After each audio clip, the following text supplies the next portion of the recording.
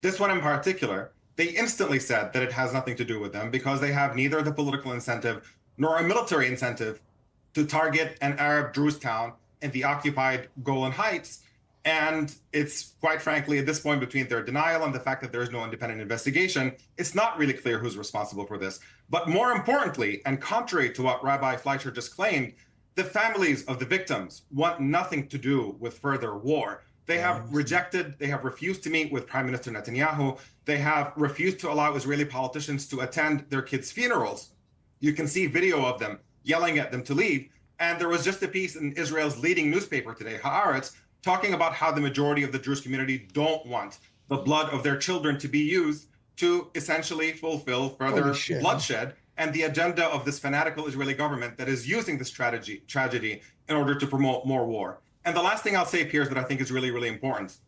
If this incident were to take place a thousand times over, it still would not come close to the death toll in children that Israel has inflicted in Gaza over the past nine months. So anybody who's actually serious and and, and sincerely concerned about yeah. the killing of children and violence should be insisting on an immediate ceasefire in Gaza and the handing of Prime Minister Benjamin Netanyahu and the people around him to The Hague for the war crimes they have committed against tens of thousands of innocent civilians over the past several months.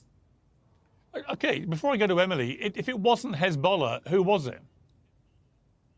Look, it, it, like there's many possibilities, right? It could be potentially an errant Hezbollah rocket. It could be another group that launched it, or it could be a potential misfire of an Iron Dome missile or something. We're not really sure. The one thing that we do know, Piers, is that the Israeli government lies through its teeth time and time again. They lied about who's res- responsible for the killing of Palestinian American journalist Shirin Abu Akleh. They lied about 40 beheaded babies on October 7th. They're just a machine of lies. And so you have to get an independent investigation to actually look into this and sort it all out. But even if it does turn out to be a Hezbollah rocket, if that is indeed what the evidence points to, it's almost certainly an accident because there is no incentive for that target to actually take place. And we should be looking to de escalate tensions, not rising them up.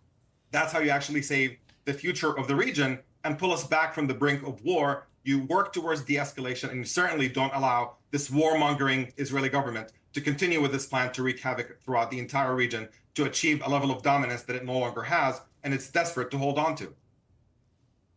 All right, Emily Schrader, your response.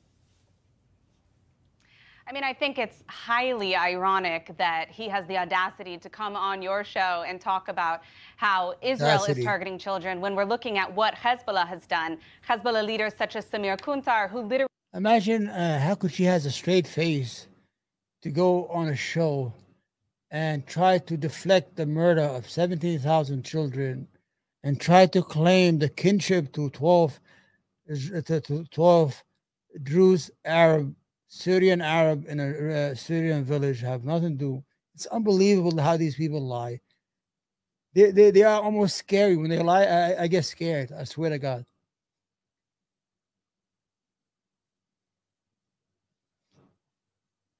No, this is not murdered an Israeli child face to face with the butt of his rifle. Hezbollah, who in previous wars murdered 50% of the civilians who were killed, were actually Arab Israeli citizens. There were rockets coming down onto Arab, majority Arab towns like Nazareth, killing Arab Israeli babies. There has been no differentiation by terrorist organizations when it comes to targeting Israeli citizens, whether they're Druze or Arab, Christian, Jewish, doesn't matter. If you're Israeli, that's fair game for terrorist organizations.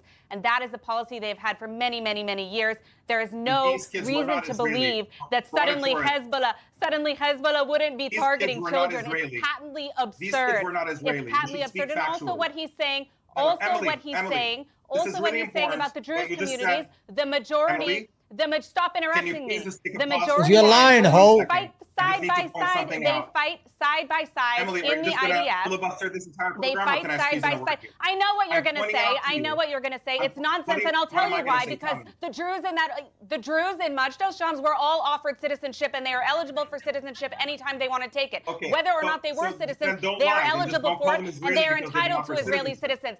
Some of them I'm were sorry, Israeli Emily, citizens. I do not know that 100% sorry, of them. I do not know if 100%. Let me speak. Stop lying about Let these children speak. are.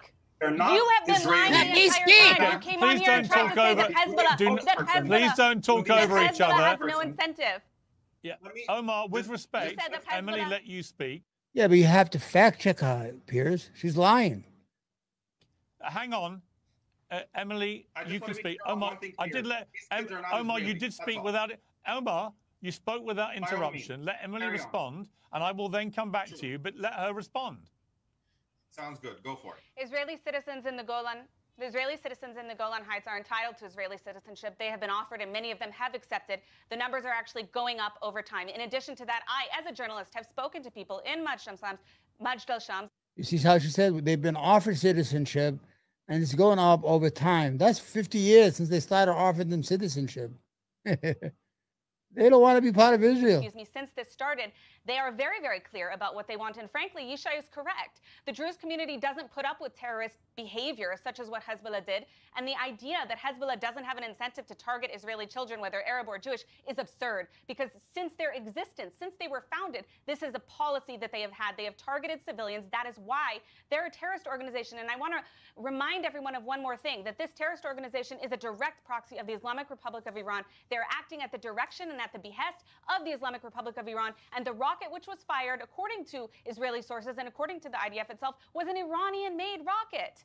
So there, the, the Iran fingerprints from the Islamic Republic are all over this, the same as they are with every terrorist organization that Israel is dealing with now. And I agree with Yishai that we need to deliver a very, very strong deterrent, not punishment. This isn't about revenge. This is about deterring Hezbollah from attacking Israeli citizens. And they have sent over 6,000 rockets since October 8th. It's to Not enough, not Israel enough. Is warmongering here is patently absurd. All right. May Okay, let me- let me go- violence at this point?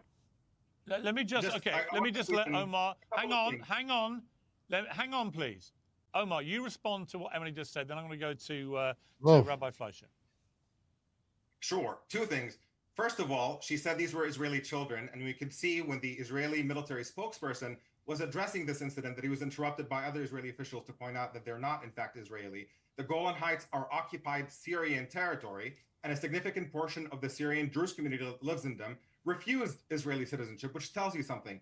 And the other thing about what these children and their but, families but want. Omar, do, do we actually, Omar, do, do we know how many of the children who died were Israeli citizens? None. I'm not entirely sure if any of them were or not, but I can tell you there is one thing that is really clear at this point, Piers, that I think is really important, is you can listen to Emily and Rabbi Fleischer tell you about what the families of these host- of these kids want, or you can listen to the families themselves, who are widely quoted in the Israeli press, talking at this point about the fact that they don't want the blood of their children to be just to be used as justification for further bloodshed. And they have referred to Netanyahu as a war criminal, and they want nothing to do with this government. So yes, you can listen to these propagandists tell you what their interpretation of these events events are, or you can talk directly to the families of these children who were killed with this really incredibly tragic and, and horrifying incident and find out what they actually want. And it has nothing to do with the lies that we've just heard from Yishai and from Emily. So Okay, First okay, of Ra- all, I Rabbi have Fleischer. I mean, the family, so there's well- not well, a hang on, let me- consensus let me- on that. Emily, there's not Emily, a let- consensus let, at me all. go to Emily. Let me go to Rabbi Fleischer, please. Rabbi Fleischer. I mean, it's uh, it's complex this particular story for the reasons that we are now, uh, you know, discussing in this debate. Is that we don't actually know how many, if any, of these children were Israeli school children. I, I assumed that most of them were. That appears not to be the case. Do you have any information which can say uh, Piers, unequivocally either I, way? I, I'm, a, I'm a little bit at, at wonderment at your question, as though it matters. These guys live, they're citizens or residents of Israel. What does it matter? They were shot at by Hezbollah, which shoots Hezbollah. into Israel. So we have all kinds of folks, minorities living in our land, all kinds. If they were Arab, that would be okay. They killed 12 kids because they're trying to shoot at Israel, one way or the other. So that's what this is about. What exactly the identity of the kids were? Is that really important, Piers? I I, I don't quite understand the question. No, no, I, I know listen, Druze I think people. I don't. It, it I doesn't live- change the I- fact I, these children I are being work with Druze every single day. I, and I always ask them, I say to them, tell me candidly, what do you think about living in Israel? They're like, you know, great country, but you guys are weak. You guys are weak via, uh, vis-a-vis the jihad. He's a fucking racist piece of shit. He's one of the settlers that live in the West Bank who beat up uh, Palestinians, kill them, and take their homes every day. He is the right wing Messianic movement in Israel that has weapons, and they're going to be used against this idiot. Her name is Emily or later, eventually.